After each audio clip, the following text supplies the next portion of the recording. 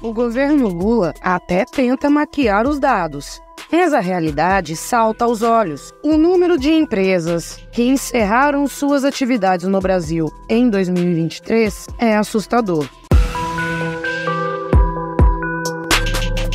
Este é o Visão Libertária, sua fonte de informações descentralizadas e distribuídas. Foram divulgados recentemente os dados oficiais consolidados a respeito da saúde das empresas no Brasil, terminado o ano de 2023, o primeiro desse governo Lula 3.0. Tão logo esses números foram divulgados, a agência de notícias oficial do governo, ligada à famigerada EBC, tratou logo de mostrar a parte bonita da história, como era de se esperar. E como sempre acontece nesse tipo de situação, a verdade inconveniente terminou por ser varrida para debaixo do tapete. Contudo, você pode contar conosco para que a realidade dos fatos seja mostrada às claras. Em primeiro lugar, a forma como os números foram apresentados é no mínimo estranha. O governo preferiu revelar os dados referentes ao último quadrimestre de 2023, ou seja, os meses de setembro a dezembro daquele ano. Isso é um pouco curioso, porque geralmente o governo divulga resultados referentes a meses, trimestres e semestres. Mas até aí, tudo bem, de acordo com esses dados quadrimestrais, houve um crescimento de 5,1% na abertura de novas empresas no Brasil em relação ao mesmo período de 2022.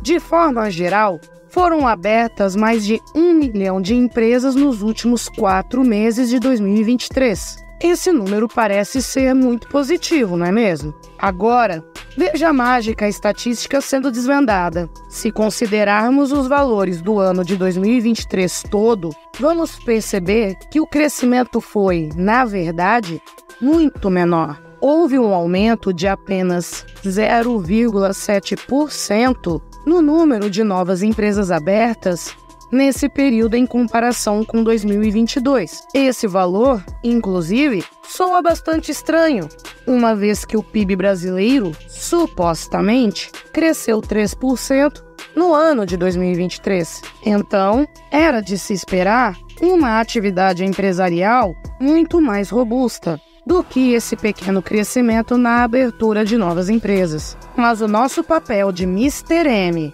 da economia estatal não termina por aí. Se o governo fez questão de frisar os dados do último quadrimestre de 2023, é bem provável que os quadrimestres anteriores tenham sido um resultado ruim. Afinal de contas, se os últimos quatro meses do ano tiveram uma alta de 5,1% nesse indicador e o resultado anual foi de apenas 0,7%, então, algo de muito ruim aconteceu nos primeiros oito meses do ano. A notícia veiculada pela Agência Brasil, da EBC, não trouxe essa informação, mas podemos concluir isso com algum grau de certeza. Só isso mesmo para explicar um resultado tão pífio no consolidado dos 12 meses. Ainda assim, precisamos frisar que se trata de fato de algum crescimento, e ainda que tenha sido num ritmo menor, todo crescimento econômico, no fim das contas,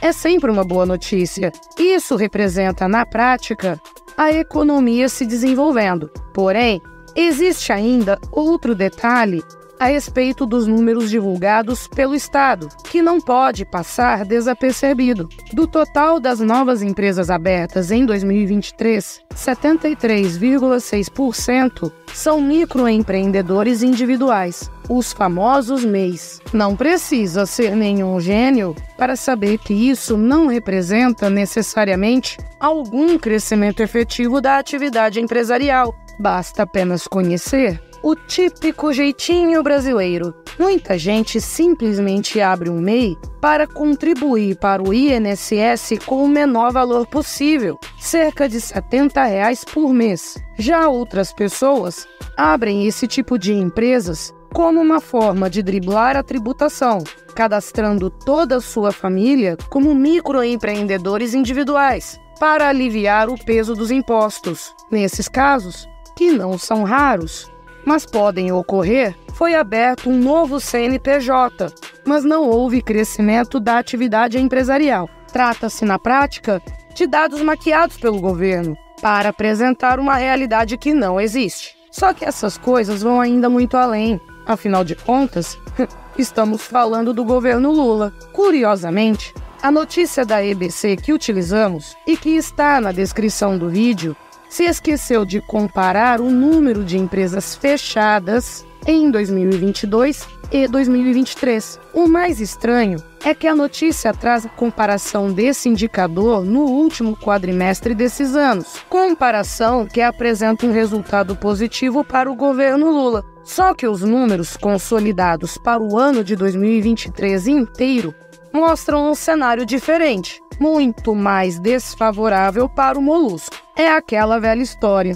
Se não é possível manipular a verdade, talvez seja possível escondê-la, principalmente se ela for catastrófica. E a catástrofe, nesse caso, é realmente gigantesca. Ao compararmos o número de empresas fechadas em 2023 com esse mesmo número no ano anterior, veremos que o indicador teve um crescimento de 25%. Foram 2,1 milhões de empresas extintas em 2023, contra 1,7 milhão em 2022. Esse resultado, sem dúvidas, está longe de ser razoável. Trata-se de uma verdadeira tragédia para o empreendedorismo brasileiro. Sim, no fringir dos ovos, ainda temos um saldo positivo de empresas abertas em 2023, de mais de um milhão de novos CNPJs, com as ressalvas que fizemos anteriormente. Mas ainda assim, os números são preocupantes. De acordo com dados apurados pelo Sebrae, 29% das novas empresas brasileiras terminam por baixar as portas com menos de cinco anos de existência. E essa realidade se torna ainda mais preocupante no que se refere às microempresas e empresas de pequeno porte. Nesses casos, a sobrevida costuma ser ainda menor e, como nós bem sabemos, esse tipo de empresa responde pela maior parte dos empregos gerados no Brasil, especialmente em cidades menores. Mas então, o que esses números já esclarecidos representam? Será que estamos presenciando, diante de nossos olhos, o início de mais uma crise econômica? Veja, em primeiro lugar, precisamos nos lembrar que números costumam enganar muito bem. O próprio governo Lula tem feito isso à exaustão, diga-se de passagem. A equipe econômica do Molusco propagou o crescimento do PIB brasileiro em 2023, estimado em 3%, o que é um valor bastante razoável.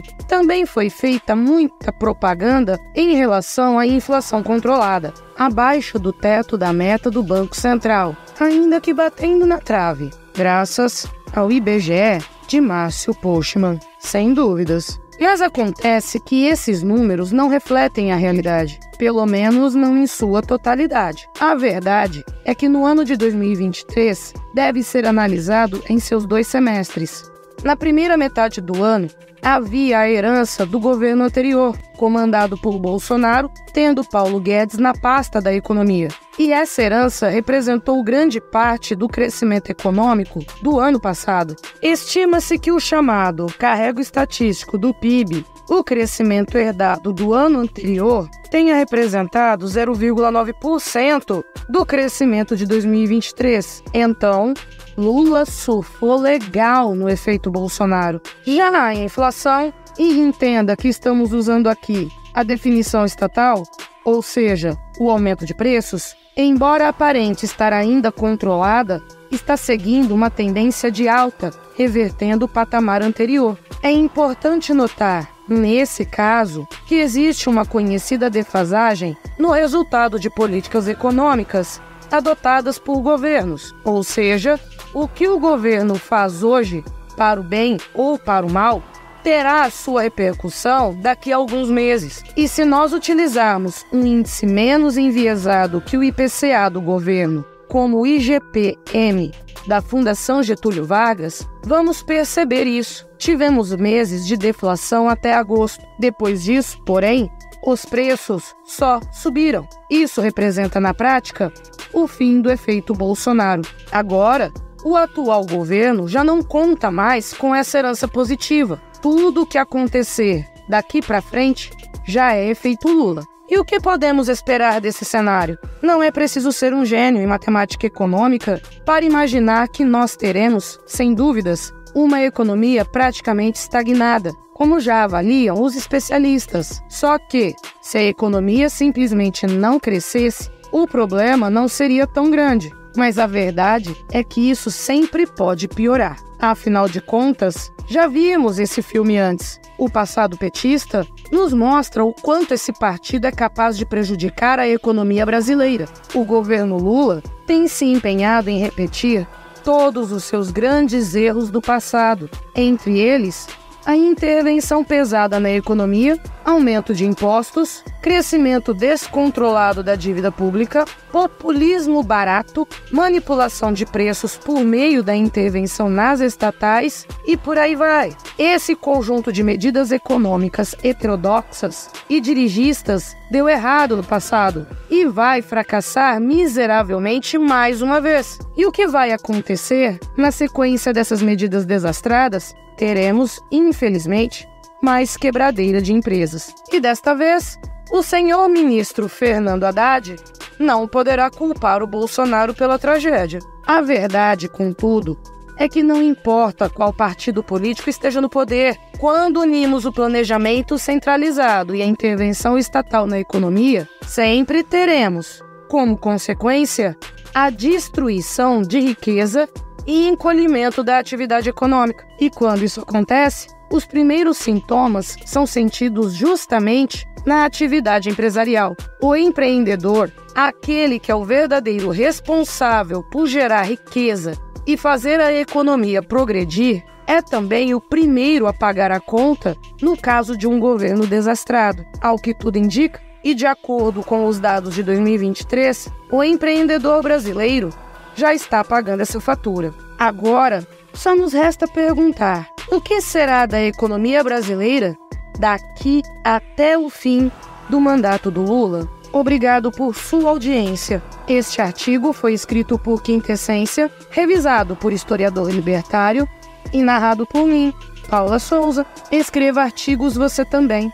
Acesse visãolibertaria.com. Se você gostou do vídeo, compartilhe em suas redes sociais. Caso deseje ser avisado de outros vídeos, inscreva-se no canal e depois clique no botão da campainha. Até a próxima!